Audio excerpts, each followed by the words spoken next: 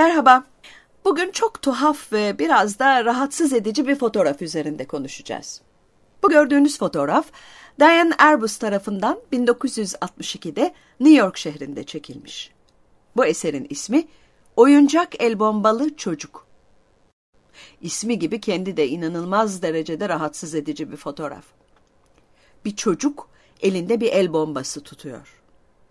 Çok rahatsız edici. Sanki çocuğun bir sorunu varmış gibi duruyor. Arbus'un fotoğrafını seçerken onun her zamanki gibi fotoğrafladığı karede farklı bir şeyler bularak ustalığıyla özdeşleştirdiğini düşündüm. Fotoğraftaki çocuğun yüz ifadesi size acayip gelebilir. Buna farklı ya da rahatsız edici de denebilir.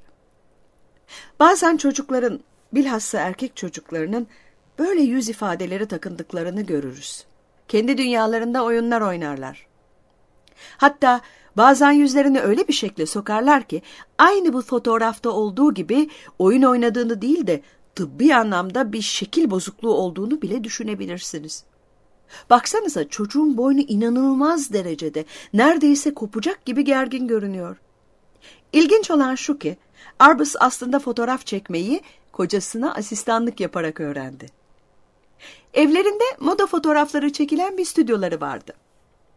Eminim ticari çalışmalarında kesinlikle böyle bir fotoğrafa yer vermez, bu şekilde kasılmış ve garip görünen bir bedeni model olarak seçmezdi. Zaten kendi de bu gördüğünüz fotoğrafın meslek dışı bir çalışma olarak kabul edilmesini istemiştir. Peki, bu fotoğrafı nasıl çekti? Parkta yanından geçerken bu çocuktan poz vermesini istemiş olabilir mi?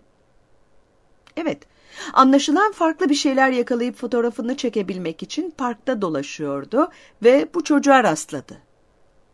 Ve buradaki resim kataloğunda görebileceğiniz gibi çocuğun birkaç farklı yerde fotoğraflarını çekti. Mesela burada bir kuş havuzunun yanında ayakta duruyor. Aslında diğer fotoğrafların çoğu gayet sıradan görünüyor. Burada heybetli bir duruş, bir geçiş karesi. Sonra Arbus onu farklı bir yere, bu gördüğünüz yere yönlendiriyor. Burada arkada bir ağaç görebiliyorsunuz. Son fotoğrafı burada çekmeye karar vermiş. Gün ışığının alacalı yansımalarını seviyor olmalı. Işığın arkadan hafifçe geldiğini görebiliyoruz. Sonunda bu fotoğrafların arasından seçtiği kare bu olmuş. Şimdi biraz geri gidelim. Erkek çocuğu ağacın devamıymış gibi duruyor. Ağaçla pantolon askısının duruşu, bacaklar hepsi orantılı. Bu merkezi ağırlıklı bir geçiş. Ağaçların eşlemesiyle iki bacağın eşlemesi. Çocuğun bir pantolon askısının tıpkı yukarıdaki küçük dalın sağa doğru uzandığı gibi sağa doğru düşmesi. Her iki elinde aynı hareketi yapıyor olması. Fotoğrafta aynı anda hem bir simetri hem de asimetri söz konusu. Gömleğindeki desenlerle üzerine düşen ışığın oluşturduğu alacalı görüntü. Size de tümü çocuktan doğuyor, ondan açığa çıkıyormuş gibi gelmiyor mu? Sanki bu çocuk çevresindeki ışık huzmesinin, ışık dağılımının kaynağı gibi görünüyor. Işık fotoğrafçı tarafından ustaca bize doğru yönlendirilmiş gibi arkadan hafifçe geliyor. Adeta fotoğrafa bakanlara eşlik etmesi için dikkatlice hazırlanmış. Rönesans döneminin damalı zemin kaplamaları da benzer bir etki yaratıyor. Peki fotoğrafçı bunu nasıl sağlamış? Bu fotoğraf sıradan bir objektifle mi çekilmiş?